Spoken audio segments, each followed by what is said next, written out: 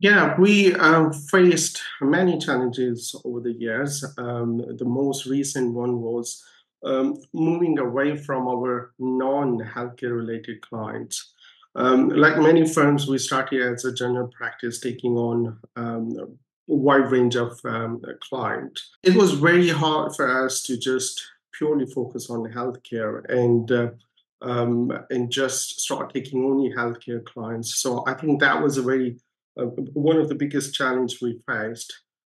So many business owners, accountants no exception, they represent their firms either on their websites, their LinkedIn profile, their emails, their networking events, whatever it is, in exactly the same way as everybody else. This is about really standing out from the crowd um, identifying your ideal client and then becoming incomparable. So you're not compared on price or, you know, this, that, the other against the other accountants out there. You are independent. So the winner of the Practice Differentiation Award is, and he's online as well, he couldn't be with us in the room today, is Usman Sial. So Usman, well done. Congratulations. Thank you, Sean. so, Usman, please um, introduce yourself. Tell us a little bit about your practice. Yes, hi, I'm Usman, uh, the founder of Sial Accountants. Um, we are based in London. Um, we specialize in accounting services for healthcare uh, professionals like doctors, opticians, pharmacists. Um, we are a team of six uh, committed to providing um, personal and professional services to our clients. Thank you very much. So tell us a little bit about the obstacles, the challenges that you were facing, and again, how are they impacting on you emotionally as well as professionally? Yeah, we uh, faced many challenges over the years. Um, the most recent one was um, moving away from our non healthcare related clients. Um, like many firms, we started as a general practice, taking on um, a wide range of um, clients. Uh, with, with my background in healthcare sector, I decided to just niche it down uh, and just purely focus on healthcare uh, professionals. Um, so it, it, was very hard for us to just purely focus on healthcare and uh, um, and just start taking only healthcare clients. So I think that was a very uh, one of the biggest challenge we faced.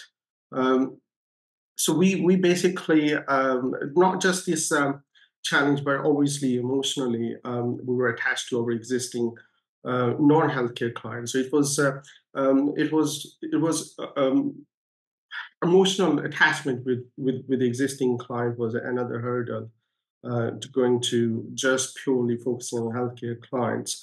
Um, so we also um, uh, we, we've faced uh, issues like capacity-wise that we had to have the capacity to take on uh, healthcare related clients. Um, and other other hurdle we faced was the marketing. So we wanted to um, market to our um, um uh, uh, healthcare related client, not just uh, not um, non-healthcare related clients. So these these kind of issues we faced over the last um, year.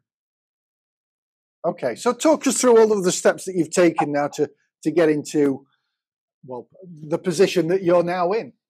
Yes.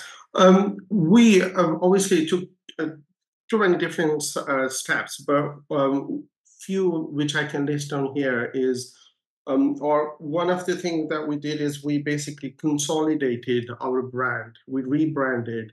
Um, previously, we had two different websites, so we uh, consolidated them into one, purely focusing on healthcare-related clients. Um, we hired full-time marketing manager who, has been working for the last few months, um, focusing on getting healthcare clients. Um, we obviously introduced few other things like we we we, we basically now got the, this um, uh, personalized welcome gift box that we send into our uh, all our new clients. Plus, we have sent these to our um, 50 uh, top rated uh, existing clients. So these, these are basically um, steps and strategies we took, a few of them um, over the last few months. Thank you. So tell us about the results that you're seeing right now. And very quickly um, as well, because you've got about 40 seconds left. Yeah, sorry, say, say it again, uh, Sean.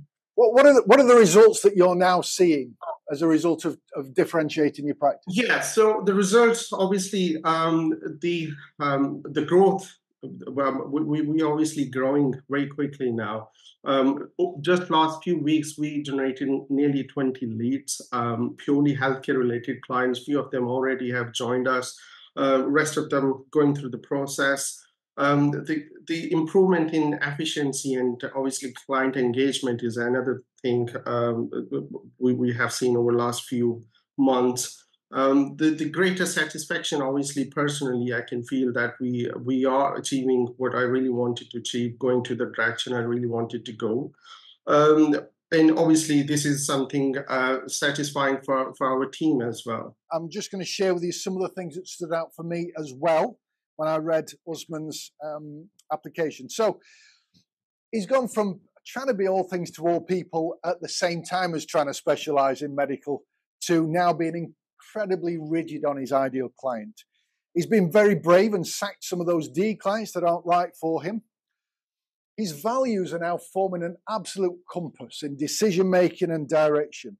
He's put in place a great referral strategy and he's he's increased his credibility by getting an accreditation through Medic Money. Rather than talking about the, the features, he's very much focused on the results and the outcomes that he gets for his ideal clients in all of his communication. So they they were the things that really stood out for me. Listen, let's everybody give uh, Usman a massive round of applause. Well done to you.